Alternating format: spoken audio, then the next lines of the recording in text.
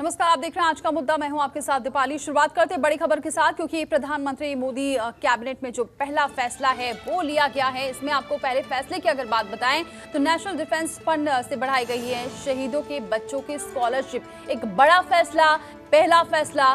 Cabinet की बैठक के बाद दो हज़ार से पच्चीस रुपए की की गई है लड़कों की छात्रवृत्ति। इसके अलावा 2250 से 3000 रुपए की गई है लड़कियों की छात्रवृत्ति। प्रधानमंत्री ने अपना कार्यभार भी संभाला और उसके बाद कैबिनेट बैठक में ये फैसला लिया गया है। तो प्रधानमंत्री मोदी ने दूसरी बार अपना कार्यभार संभाला है और उसके बाद जब वो पहुँचे तो सबसे पहले उन्होंने गांधी जी की मूर्ति पर फूल चढ़ाए और उसके बाद जो पहला फैसला लिया गया है, बेहद ही महत्वपूर्ण फैसला जिसमें बाईस से तीन हज़ार रुपए की ये स्कॉलरशिप बढ़ाई गई, जिसमें छात्रवृत्ति बढ़ाई गई है। नरेंद्र मोदी कैबिनेट की बैठक में पहला फैसला है। नेशनल डिफेंस फंड से बढ़ाई गई है। शहीदों के बच्चों की स्कॉलरशिप मैनेजिंग एडिटर हमारे साथ जुड़ चुकी हैं इस वक्त शीतल राजपूत। शीतल, एक बहुत बड़ा फैसला और पहली ही बैठक हुई और पहला ही बेहद ही महत्वपूर्ण फैसला। बिल्कुल पहला प्रधानमंत्री ने अपना कार्यभार संभाला आपसे थोड़ी देर पहले और फिर उनका एक ट्वीट आया। जो पहला फैसला उनकी गवर्नमेंट ने किया, वो खुद लिखते हैं कि वो देश के रक्षकों को डेडिकेट करता हूँ। यानी जो शहीद हैं, जो देश की रक्षा कर, जिन्होंने करते करते अपने प्राण न्यौछावर कर दिए, मैं अपना पहला फैसला उनको डेडिकेट करता हूँ। और ये फैसला ये है कि प्रधानमंत्री की जो स्कॉलरशिप स्कीम आती है नेशनल डिफेंस फंड के तहत, उसमें हमने बदलाव जो है, उनको, उन पर अप्रूवल किया है। हमने हम बदलाव करने के लिए हमने सहमति बनाई है। और इसमें ये होगा कि जो भी आ, सुरक्षा कर्मी फिर चाहे वो पुलिस विभाग से हो चाहे वो सेना से हो जो आतंकी या नक्सली हमलों में मारे गए शहीद हुए उनके बच्चों के लिए जो छात्रवृत्ति पहले जो प्रोविज़न थी, उसको हम बढ़ा रहे हैं। लड़कों के लिए दो हज़ार से ढाई हज़ार रुपए उसे किया जा रहा है और लड़कियों के लिए सवा दो हज़ार से तीन हज़ार रुपए ये छात्रवृत्ति जो है बढ़ाई जा रही है। तो प्रधानमंत्री ने बड़ा इससे संदेश दिया, संकेत दिया पहले फैसले में कि हमारा, हमारी जो सरकार का फोकस है क्रक्स है फोर्सेस फ़र्स्ट नेशन फ़र्स्ट वो आगे भी हम बरकरार रखेंगे और जिन्होंने देश की रक्षा की उनको ये पहला फैसला हम डेडिकेट करते हैं। आतंकी नक्सली हमलों में शहीद सुरक्षा कर्मियों के बच्चों की स्कॉलरशिप बढ़ाई। यकीनी तौर पर ये एक बड़ा मोराल बूस्टर होगा। उन परिवारों के लिए जिन्होंने अपने अपनों को आतंक के हाथों खोया या जिनके पिता भाई आतंक के चलते या नक्सली हमलों के चलते शहीद हुए। बिल्कुल, और जिस तरीके से आप भी बता रही हैं कि और जो एक एजेंडा था और जिस तरीके से बीजेपी भी लगातार इसी एजेंडे पे बात कर रही थी कि नेशन फ़र्स्ट वाली बात है तो ज़ाहिर सी बात है इसका एक अच्छा मैसेज भी जाएगा, क्योंकि ये पहला ही फैसला है, ऐसे पूरे देश में एक अच्छा मैसेज जाएगा। बिल्कुल ये फौज के लिए, हमारे सैनिकों के लिए पुलिस कर्मियों के लिए पैरामिलिट्री फोर्सेस के लिए सबके लिए एक मोराल बूस्टर है। वो देश की रक्षा में अपने प्राण न्यौछावर करते हैं वो सीमा पर डटे रहते हैं देश की सुरक्षा करते हैं रक्षा करते हैं। फिर हमने हाल में भी देखा हमने देखा किस तरह शहादत हुई पुलवामा में इतने सारे हमारे जवानों की और उसके बाद बालाकोट स्ट्राइक करके भारत ने बदला लिया। तो उसी पॉलिसी को आगे बढ़ाते हुए कि हमारे लिए फोर्सेस फ़र्स्ट हैं नो कॉम्प्रोमाइज नेशन फ़र्स्ट है। देश पहले है सैनिक पहले हैं जो देश की रक्षा करते देश का रक्षक पहले है और उनके परिवारों की देखरेख करना हमारा जिम्मा है। हमारे शहीदों की परिवार के परिवारों की देखरेख हमारी ज़िम्मेदारी है और सबसे पहला फैसला हम उन्हीं को डेडिकेट करते हैं। मोदी सरकार की पहली कैबिनेट बैठक मोदी टू की आज हुई और उसमें ये बड़ा फैसला लिया गया जिसकी जानकारी प्रधानमंत्री ने खुद ट्वीट करके दी। और बाकी अगर बात कैबिनेट की करें तो तमाम दिग्गज मंत्री जो अहम पोर्टफोलियो जिनके पास हैं वो उन सभी ने लगभग अपना कार्यभार संभाल लिया है। और हम सभी जानते हैं कि रक्षा मंत्री के तौर पर राजनाथ सिंह को चुना गया है और अमित शाह सबसे बड़ी चॉइस गृह मंत्री की नंबर टू। वैसे भी प्रधानमंत्री के करीबी हैं और मोदी सरकार टू में नंबर टू की भूमिका में भी रहने वाले हैं। अब जब गृह मंत्री देश के बन बन गए हैं और कई सारे आ, बड़े काम और आ, फैसले उन्हें लेने होंगे आने वाले दिनों में। फिर चाहे वो कश्मीर में आतंक की बात हो नक्सलवाद को खत्म करने की बात हो या एनआरसी को लागू करने की बात हो ये तमाम चुनौतियाँ होंगी उनके सामने। और धारा 370 पैंतीस से अनुच्छेद कश्मीर में ये सारे चीज़ें जो है ये बीजेपी के एजेंडा में रही हैं उनके मैनिफेस्टो में इनका ज़िक्र रहा है। और एनआरसी को तो 31 जुलाई तक लागू करना है ये तो कोर्ट का आदेश है। हम्म। तो ये सब फैसले जो हैं ये अमित शाह को लेने होंगे और उन्हीं की देखरेख में इन पर काम होगा। लेकिन क्या लगता है कितना मुश्किल होगा? क्योंकि अगर हम जिन विषयों की बात की जा रही है 35 ए 370 ये तमाम ऐसे मुद्दे हैं जो लगातार मैनिफेस्टो में आते रहे हैं। जब जब बीजेपी की सरकार बने वाली होती है, उनका जो घोषणा पत्र रहे हैं, वो पिछले तीन चार सालों से ये मुद्दा ऐसा है जो खत्म नहीं होता है। मैनिफेस्टो में ज़रूर होता है, लेकिन सरकार निकल जाती है और वो जस के तस पड़े रहते हैं। क्या लगता है कि इतना आसान हो पाएगा? इसकी वजह यह है कि जो स्थानीय स्तर पर कश्मीर में जो पॉलिटिशियन हैं या पॉलिटिकल पार्टीज़ हैं, वो लगातार निरंतर इसका विरोध करती रही हैं कि आप 35 ए नहीं हटा सकते, आप धारा 370 नहीं हटाएँगे। और महबूबा मुफ्ती पीडीपी की जो नेत्री हैं, वो तो यहाँ तक की धमकी दे चुकी हैं कि भाई अगर आप धारा 370 हटाएँगे 35 ए तो कश्मीर जो है वो भारत का हिस्सा नहीं रहेगा। तो मतलब उनसे लोग यही पूछते हैं कि ये तय आप कैसे कर सकती हैं कि कश्मीर भारत का हिस्सा रहेगा और नहीं रहेगा तो क्यों नहीं रहेगा? खैर ये जो मेजर पॉलिटिक्स होती है, वहाँ पे ग्राउंड लेवल पर कश्मीर में फिर चाहे अलगाववादी नेता करें या ये कश्मीर के मेन स्ट्रीम पॉलिटिशियन करें वो इस तरह का माहौल वहाँ पर बनाते हैं लेकिन जम्मू कश्मीर में एक बड़ी राय ये भी है कि सचमुच पूरे देश के साथ जब हम भारतीय हैं जम्मू कश्मीर भारत का अभिन्न अंग है तो हम्म। क्यों ना बाकी नागरिक जो देश के हैं उनको भी हक हो जम्मू हम्म। कश्मीर में सेटल होने का वहाँ पर ज़मीन लेने का क्यों इस तरह के कानून जो कि डिस्क्रिमिनेटरी हो नॉन परमानेंट रेजिडेंट्स के लिए जम्मू कश्मीर में खासतौर से महिलाओं के लिए इस तरह के कानून क्यों बने रहे? और आप जैसा कि जानते हैं हमारे दर्शक की इस आर्टिकल के तहत खास राइट्स मिलते हैं स्पेशल राइट्स मिलते हैं जैन जम्मू कश्मीर के रहने वाले लोगों को हम्म। और बाहर के लोग वहाँ ज़मीन नहीं खरीद सकते। अगर कश्मीर की लड़कियाँ बाहर शादी कर लें तो फिर वो जम्मू कश्मीर में बिज़नेस नहीं कर सकती वहाँ की नागरिक नहीं रह जाती। तो इसलिए बीजेपी के एजेंडे पे लगातार ये रहा है और इस बार भी मैनिफेस्टो में उन्होंने जोरदार तरीके से कहा है कि annulling the annulling section thirty article thirty five A हमारी uh, बड़ी प्रायोरिटीज में से एक होगी। और ये सब तमाम मुद्दे कश्मीर नक्सलवाद uh, घुसपैठ फिर एनआरसी ये सब गृह मंत्रालय के अंतर्गत आते हैं। बेहद अहम पोर्टफोलियो है अमित शाह के पास और ये सारी ज़िम्मेदारी उन उनके कंधों पर होगी। और उन्होंने चुनावी रैलियों में और हाल फ़िलहाल में भी हमने उन्हें जब भी उनके भाषण सुने हैं तो उन्होंने लगातार इस बात ये बात दोहराई है कि आ, अगर जैसे बंगाल में हाल में जब वो कैंपेन कर रहे थे तो एक रैली का जो मुझे याद है उसमें उन्होंने कहा था कि अगर एक बार यहाँ कमल खिल गया बंगाल में तो एक हम्म। भी विदेशी नागरिक बंगाल में नहीं मिलेगा बंगाल की जनता से हम ये वायदा करते हैं हम्म। फिर उन्होंने कई बार रैलियों में चुनाव के दौरान ये भी कहा है कि देश के कोने कोने से उत्तर पश्चिम पूर्व दक्षिण जहाँ कहीं भी विदेशी घुसपैठे होंगे वो इस देश से बाहर कर दिए जाएँगे। तो ये उनके एजेंडे पर है। तो ये तमाम आ, मुद्दे जो हैं ये गृह मंत्रालय के अंतर्गत आते हैं और आ, ये बड़ी ज़िम्मेदारी अब अमित शाह के कंधों पर होगी। बिल्कुल और अगर अब हम आगे और भी मंत्रालयों की बात करें और मंत्रियों की बात करें अगर एस जयशंकर की बात करें शीतल तो यहाँ पर वो पहले विदेश मंत्री भी रहे हैं विदेश सचिव भी रह चुके हैं यूएस और मैक्सिको आयरलैंड में भारतीय राजदूत रहे हैं और पेचीदा मुद्दे को सुलझाने में माहिर हैं।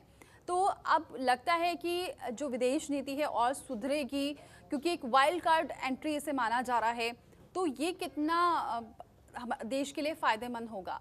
एक वाइल्ड कार्ड एंट्री ज़रूर है, एक नॉन पॉलिटिशियन ज़रूर है करियर डिप्लोमेट हैं वो, जिनको विदेश मंत्री सीधा बनाया गया है, वो एक नेता नहीं है।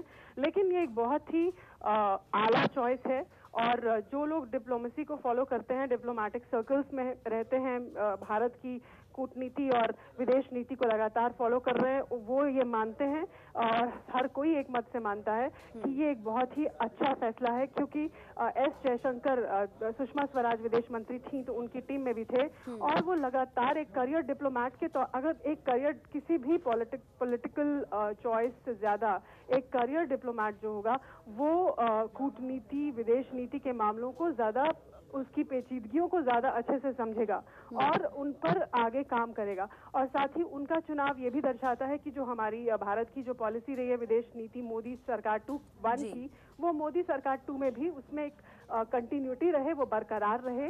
जो जो उन लोग उन्होंने प्लान किया है फिर चाहे भारत या चीन के संदर्भ में हो दक्षिण एशिया के संदर्भ में हो भारत और अमेरिका के संबंधों के संदर्भ में हो उसमें एक कंटिन्यूटी रहे और वो आगे यूँ ही बरकरार रहे।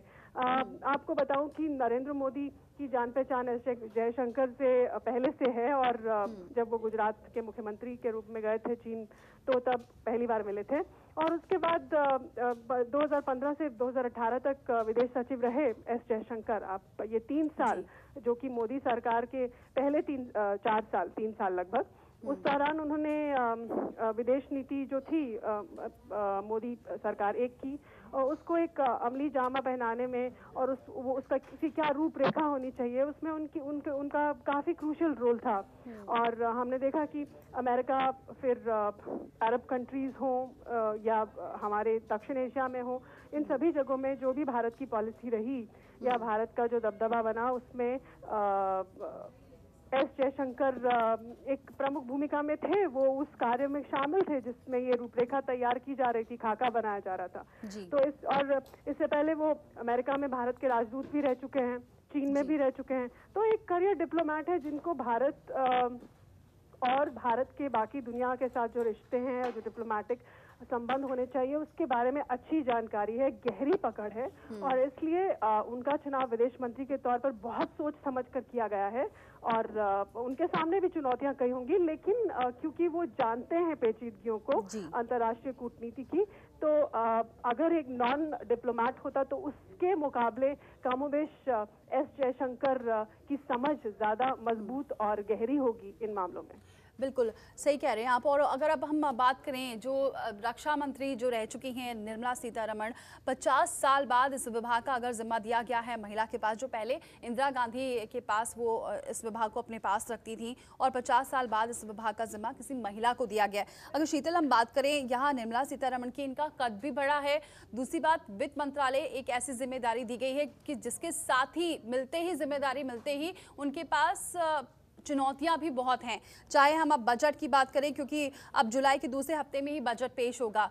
तो ऐसे में उनके पास तमाम चुनौती होगी बजट को लेकर। इसके अलावा जो ग्रोथ रेट है, उसको लेकर भी ऊंचाई तक लेकर जाना है सबसे महत्वपूर्ण ज़िम्मेदारी।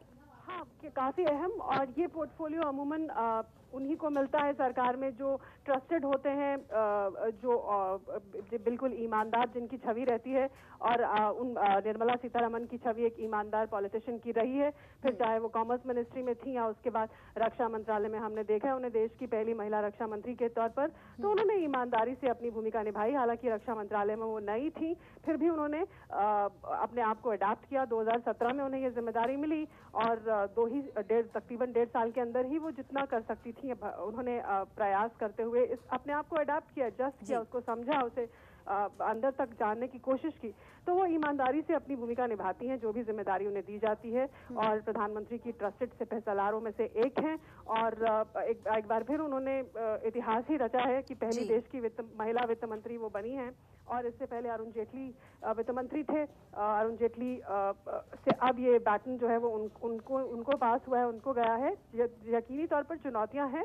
लेकिन जिस जिस गहराई से वो चीज़ों को पकड़ने की समझने की कोशिश करती हैं जिस ईमानदारी से ऑनेस्टी से वो काम करने की कोशिश करती हैं हम उम्मीद कर सकते हैं कि इसमें भी she will try to give her best जी। वो अपना बेहतरीन देने की कोशिश करेंगी और ऐसा और ये सब्जेक्ट उनके लिए अनजान नहीं है क्योंकि उनकी पृष्ठभूमि, उनकी बैकग्राउंड उनकी पढ़ाई लिखाई कॉमर्स की रह चुकी है, उनके पति भी एक जाने माने इकोनॉमिस्ट रह चुके हैं और वो खुद इकोनॉमिक्स पढ़ चुकी हैं, उनकी बैकग्राउंड वैसी है, फिर कॉमर्स मिनिस्ट्री में भी रह चुकी हैं तो वो इस अर्थव्यवस्था और अर्थशास्त्र इन सब, तमाम मामलों में अच्छी खासी पारंगत है वो। तो उम्मीद ही करते हैं हम कि अब अब जबकि इतनी बड़ी अहम पोर्टफोलियो उनके हवाले की गई है तो वो इसमें भी उसी ईमानदारी से काम करेंगी और देश को आर्थिक तौर पर और प्रगतिशील बनाने में पूरा योगदान करेंगी। बहुत बहुत शुक्रिया हमारे साथ जुड़ने के लिए। तो शीतल राजपूत जो मैनेजिंग एडिटर हमारे साथ जुड़ी हुई थी। हमने चर्चा की तमाम पोर्टफोलियो क्यों क्योंकि अब ये अब दूसरा कार्यकाल है प्रधानमंत्री मोदी का और ऐसे में तमाम अहम और चुनौतियाँ हो जाती हैं क्योंकि अब जो मैनिफेस्टो दिया गया था उसे लागू करने की ज़िम्मेदारी होगी। पाँच साल में जो काम अधूरे रह गए हैं उसे और पूरा करने की आगे ज़िम्मेदारी होगी। चुनौतियाँ बहुत है लेकिन सभी जो मंत्री हैं, उन्होंने अपना कार्यभार संभाल लिया है। रुक रहे छोटे से ब्रेक लिए, फ़ौरन लौटते हैं।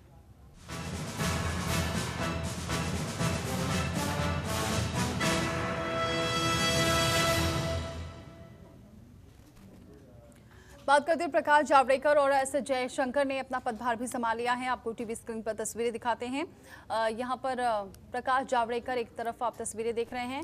आईबी मंत्री दूसरी तरफ़ आप देख रहे हैं एस जयशंकर। विदेश मंत्री दोनों ने ही अपना कार्यभार संभाल लिया है। प्रकाश जावड़ेकर को सूचना और प्रसारण मंत्री बनाया गया है।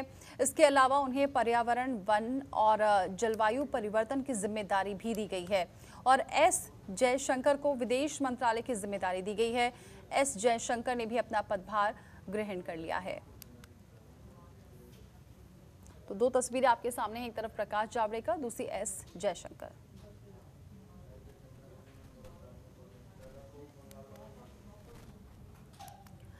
तो मोदी ने मंत्रियों को मंत्रालय दे दिए हैं और मंत्री भी अपने अपने कार्यभार संभाल रहे हैं। आपको चार तस्वीरें दिखाते हैं। आप एक तरफ़ पहली तस्वीर आप देख रहे हैं निर्मला सीतारमण की, जिन, जिन्होंने रक्षा मंत्रालय का जिम्मा पहले सौंपा गया था और अब वो उन्हें वित्त मंत्रालय दिया गया है।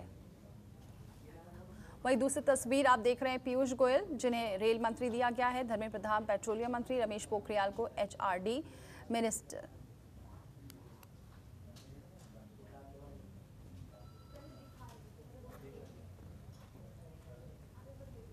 वही मोदी सरकार में मंत्रालय के बंटवारे को लेकर अगर बात करें, मंत्रियों ने अपना कार्यभार संभालना शुरू कर दिया है। अब आपको दिखाते हैं चार तस्वीरें जिनमें मुख्तार अब्बास नकवी, जितेंद्र सिंह, वी मुरलीधरन रामविलास पासवान ने अपना अपना कार्यभार संभाल लिया है।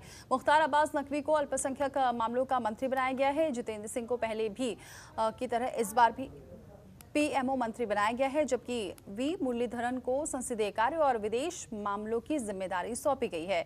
रामविलास पासवान को भोक्ता मामला और मामले में और खाद्य एवं नागरिक आपूर्ति मंत्री बनाया गया है। तो चार तस्वीरें आपके सामने हैं। सभी मंत्रियों ने अपना कार्यभार संभाल लिया है। तो मोदी सरकार टू की टीम तैयार है। मंत्रियों को मंत्रालय की ज़िम्मेदारी सौंप दी गई है। कई मंत्रियों ने आज अपना कार्यभार भी संभाल लिया है। आपको दिखाते हैं मोदी कैबिनेट में किन मंत्रियों को कौन कौन से मंत्रालयों का जिम्मा सौंपा गया है।